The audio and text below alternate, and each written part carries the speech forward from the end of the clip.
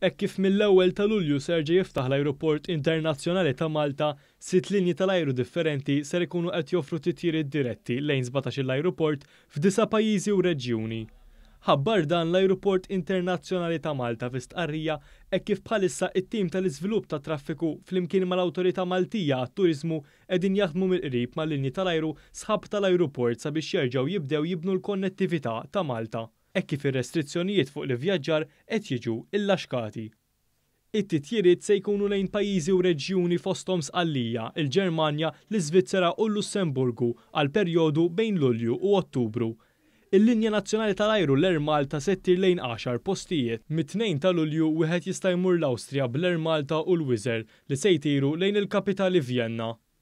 L-Air Malta biss se tibda ttir lejn ir-Repubblika Ċeka, propju lejn il-belt ta' Praga, filwaqt li r-Ryanair biss se tibda ttir lejn Billund, id-Danimarka, mis-sitta ta' Lulju. Mill-ewwel ta' Lulju l-Air Malta u Ryanair u l-Lufthansa se joperaw titjiriet lejn disa' ajruporti fil-Ġermanja.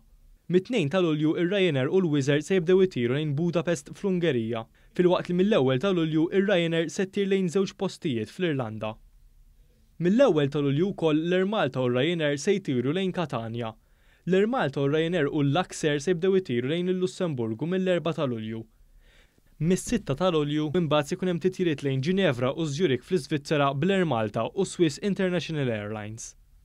Intant l-Ajruport Internazzjonali ta' Malta qal li minħabba l-pandemija fix-xahar ta' Mejju għaddew mill-ajruport biss 3,081 passiġġier, jiġifieri tnaqqis ta' aktar minn 670,000 passiġġier meta mqabbel ma' Mejju tas-sena l-oħra.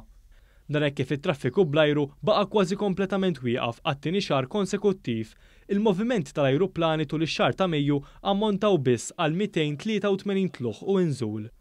43 fil-mija tat-titjiriet għax-xahar ta' Mejju kienu titjiriet umanitarji u ta' ripatrijazzjoni li wasslu passiġġieri lejn u minn aktar minn għaxar pajjiżi.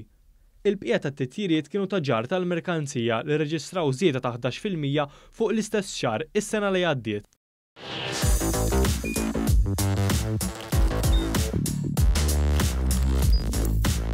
Idħol fuq one.com.mt u hemmhekk tista' tara l-programmi kollha li jxandru fuq One permezz ta' One Play.